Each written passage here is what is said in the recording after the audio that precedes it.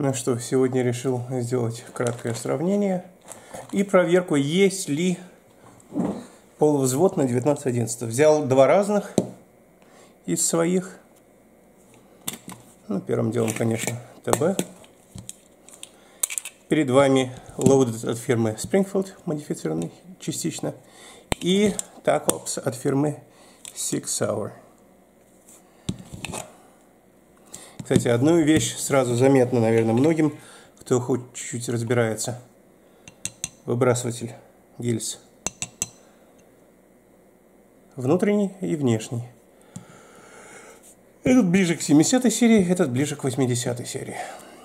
Если так рассматривать. Посмотрим, как они разбираются, насколько хорошо. Видите? Проверено, все пусто. Затвор ходит очень, очень мягко. Здесь с новой затворной пружины тоже ходит весьма мягко. Что мне интересно, этот пистолет мы разбирали недавно уже. Видите, направляющие разных вариаций, как говорится. Здесь я недавно поставил комплект от фирмы Wilson Combat, вот этот самый комплект, на замену того, что здесь было. Вот то, что здесь было, там надо было завинчивать, развинчивать с инструментами. На Сиге этого никогда не было. То есть теоретически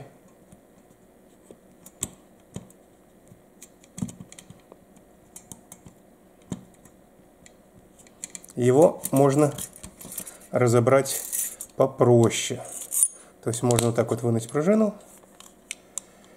Теперь, видите, никакого усилия не требуется, чтобы его разобрать. Потому что усилие ушло вместе с пружиной. И здесь такая вот версия интересная –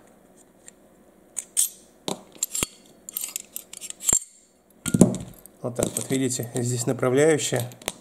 Хоть и, кстати, пружина плоская, направляющая здесь половинная. А вот эта пробка, она здесь без отверстия, как ни странно. У меня на этом пистолете с отверстием.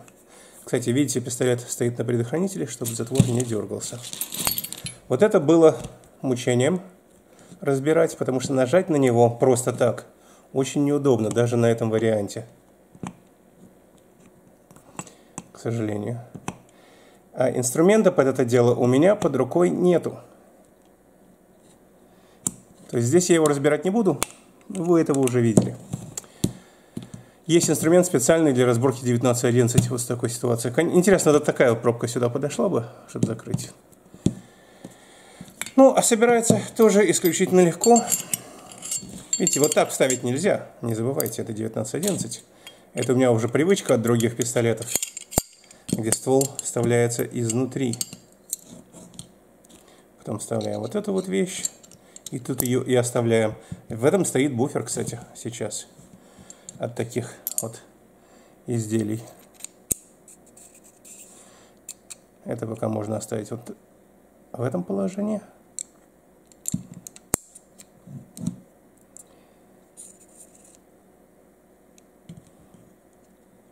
А потом можно будет закрыть.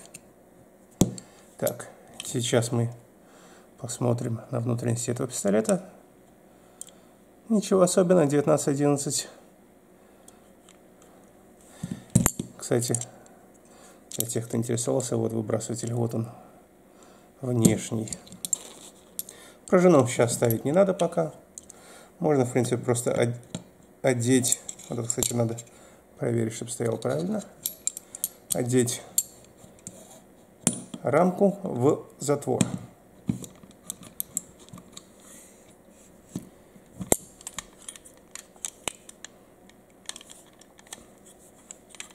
Самое главное, чтобы все сходилось, чтобы все там правильно стояло.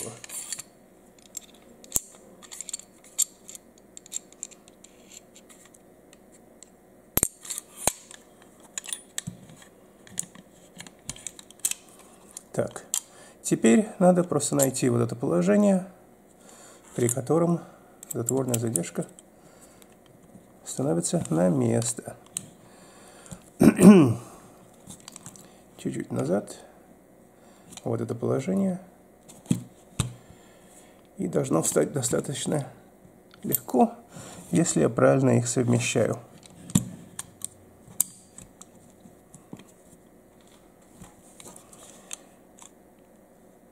Это, как говорится, если я их правильно совмещаю. Так. Никаких царапок мне, пожалуйста. Вот, все. Теперь ставим на предохранитель. Видите, на этом пистолете, это у меня был первый 1911, вы видите, здесь учился, как собирать. То есть здесь есть так называемый след идиота. На этом уже нету, к счастью моему. Научился. Так, здесь это низ. Так, крышка. Здесь она не острая, поэтому ее достаточно просто нажимать. И можно выжать до конца и легко собрать. Как ни странно, на Вилсоновском вот этот вот вырез делает его гораздо сложнее для разборки. Ну, в общем, как говорится, все нормально, все в порядке. Все работает. Предохранитель у меня двухсторонний на обоих пистолетах. И то, и другое вполне нормальные, так называемые средние 1911. 700 долларов, 1100-1200. Сиг, как ни странно. Спанка Пикатини, так называемый тактический пистолет, и пришел аж с четырьмя магазинами. И тут другой с ночными прицелами. Сик потяжелее будет. Наверное, за счет того, что металл пошел на дополнительную планку Пикатини здесь. А, и тогда другой нормальный. Так что вот, очень крат, кратко разобрал, собрал, закончил. Давайте посмотрим на полувзвод.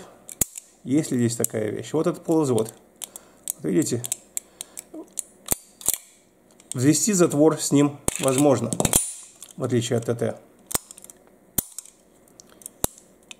Нажать на спуск невозможно.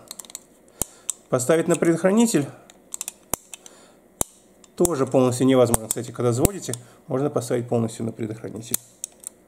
Это на Сиге. Теперь давайте посмотрим, что на эту тему думали изготовители более ранние версии. Видите? Здесь полувзвода нету. Здесь есть мелкий взвод, который, в принципе, при нажатии предохранителя все работает. Вот такой мелкий взводик. Как только я нажимаю на предохранитель здесь, на рукоятке, то все срабатывает. Посмотрим то же самое еще раз на Сиге. Вот, видите, полувзвод и даже нажав на этот предохранитель, ничего здесь не срабатывает. Надо завести до конца. И все. Еще раз. Микровзвод.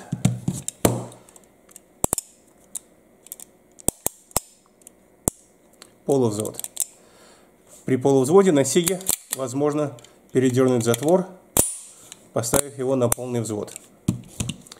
На микровзводе на Смит Вессоне тоже возможно поставить его на полный взвод, при котором все работает. Конечно, большая разница между ними по разным другим параметрам. СИГ все-таки чуть повыше уровнем здесь. Но вот идея о полувзводе. То есть на некоторых 1911 ближе к 70 серии его нету просто. На 80 серии на Сиге, по крайней мере. Он есть, но он работает только как полувзвод. Это не предохранитель, потому что с курком можно работать.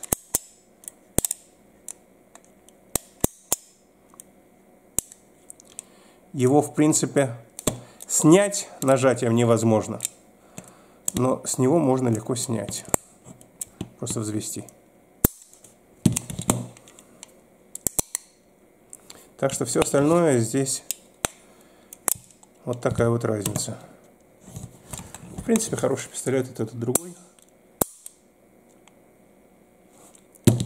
Ну вот, сборки и разборки и полувзводе.